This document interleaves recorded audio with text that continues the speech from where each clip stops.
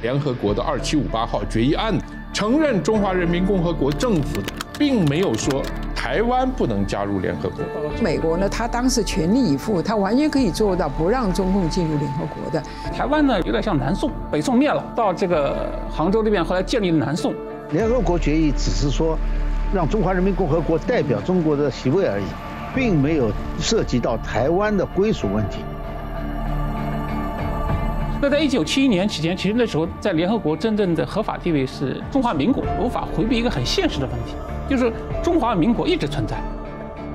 毛泽东我是太祖，我是开国皇帝，所以他必须要改国名。中共呢，希望挤压台湾的生存空间，迫使台湾投降。实际上，台湾已经是国际这个社会的重要成员了，他的护照比中华人民共和国的护照要好用得多。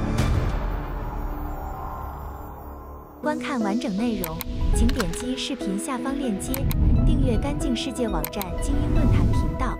精英论坛每周六干净世界独家播出，欢迎关注和支持。